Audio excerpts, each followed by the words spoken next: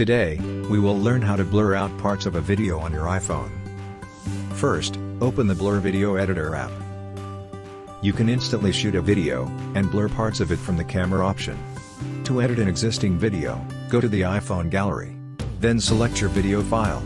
Once the video appears, you can choose to blur with different shapes. For example, tap the circle blur option.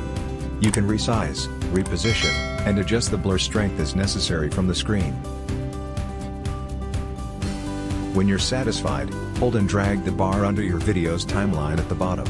You need to drag it all the way to the end screen to successfully blur the desired area. Once you're done, tap the export button at the top right corner.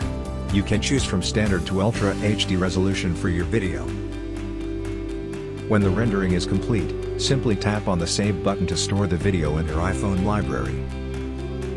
That's it.